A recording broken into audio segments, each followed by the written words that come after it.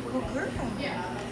Good girl. Yay! So we have the best vets in the world. Good girl, Jada.